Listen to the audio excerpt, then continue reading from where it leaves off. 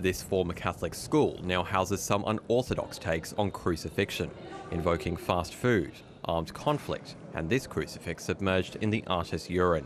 I think it's very important. I think the collection uh, could even be more shocking. I, I, think there could be even more content that uh, could go even more extreme. Extreme content that is on display here includes erotic illustrations by Picasso, among 200 works in Spain's Museum of Forbidden Art.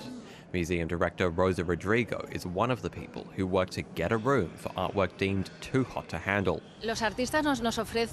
With their creations, artists invite us to push new boundaries.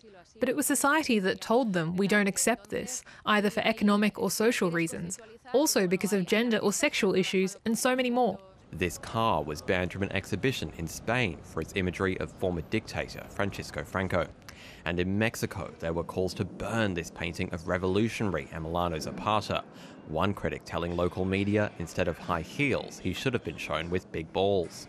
But while these controversies centre around figures from the past, the museum's visitors say this is a present day issue.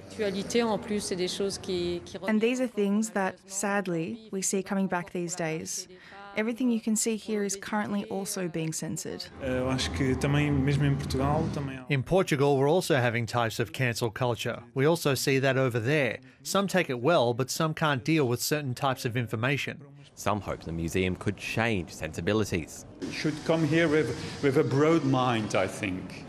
You have to be open to all the objects and to all the uh, things exhibited.